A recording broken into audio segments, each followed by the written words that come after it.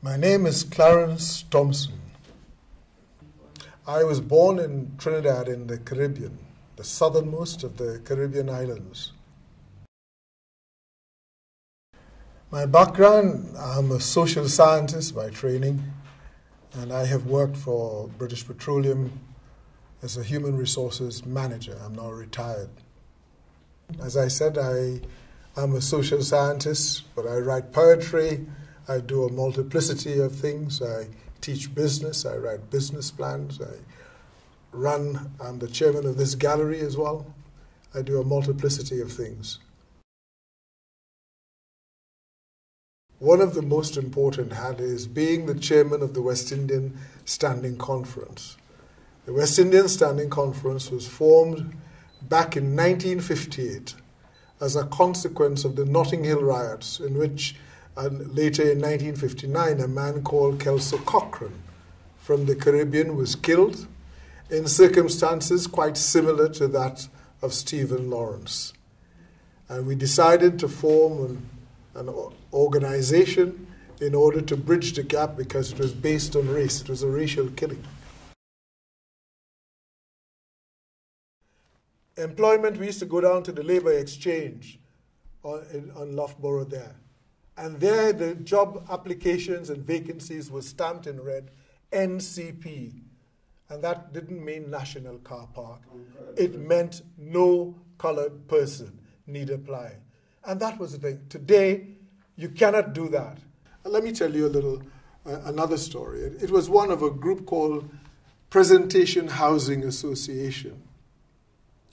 We formed that in 1968, and then during that period, they used to advertise rooms and flats to let. And the notices in the shop windows would say rooms and flats to let, no children, no Irish, no dogs, no coloreds. That's what it said. And then there was a gentleman called Neil Wates from the Wates Foundation, which is in Norbury. He didn't like that, and he said to us, We must form a housing association to address the needs of the people from that community. We did so, and today, Presentation Housing Association, though I do not have much to do with it now, but I was a member of it, an active member from 1968 to 1986. But you know, things happen, you move on and so on. But it now houses about 25,000 families. And I think that is quite an achievement.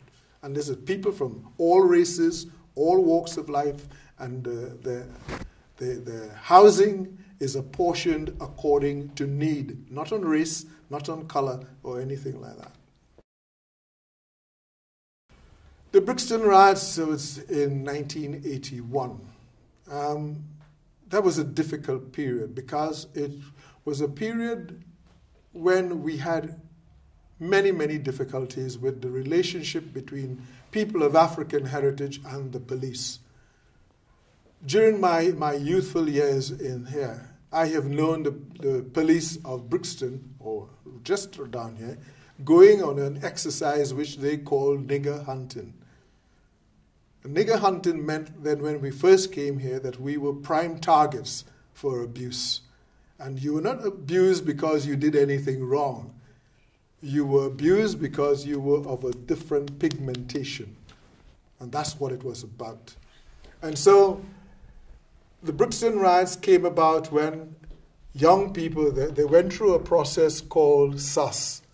It was at the time of the, the Tory government because Maggie Thatcher had just become prime minister in 1979. And it was the attitude which led to it. There was a kind of arrogance, and they didn't care about how people felt or what people felt and so on. They didn't take any of this into a concern. And so it just took one little incident, and the whole place was uh, on fire. And we tried to warn them from the West Indian Standing Conference, but no one took any notice of us. And that is what is happening today as well, because we told them about the incidents with the knives as well back in 1989. So it's almost 20 years ago, and today it's out of control. So you know, many times it happen, things happen, it is normally the fault of the people who are making the decisions. They don't understand, and sometimes we think that they really don't care. The 198 was formed back in 1988. There were two people, I used to teach business at the time down in Tooting Broadway, and two people came to me. The lady is called Zoe, and with her partner John. They came and started talking about creating a gallery, but they wanted it to be a private affair. And I said to them, it should be a community affair. And if you did it as a community affair, there's a possibility of getting grants and really making it popular and so on. They took my advice, and the rest is history. Art is a way of expressing ideas. Uh, you know, you have the performing arts, you have the visual arts, and this is the visual. And um, I'm chairman here, and I wanted to make sure that there was an opportunity for young people to show their, their, their work in, in the gallery because when this organization was formed, there wasn't a space for young people of African heritage, especially, to be able to show their work. And this became the ideal spot. We will grow old, and we have to pass the mantle of responsibility from me to you. It's like running a relay race. You have your leg to run. I must start it off and I will then pass the baton on to you. You must then take it on to the next person. And if you look at the analogy that I'm talking about, it's about passing that responsibility so that young people can fulfill their full potential. Anything that you want, you should be able to achieve it. Do not accept anyone telling you that you cannot. You say that you can and go after it. Plan it, work at it, do it, do it, deliver it.